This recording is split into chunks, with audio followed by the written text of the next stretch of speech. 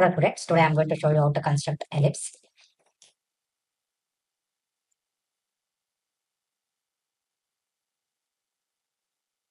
Once you're done with this, go to arc by 3 point, you can use thick line. So pick a midpoint and here also pick a midpoint, draw a tangent arc, here also pick a midpoint, here also pick a midpoint, draw a tangent arc. Once you're done, find a midpoint, draw a here from here, then convert this into ISO, select this, go to scale factor 0.816, press enter, you're going to get this.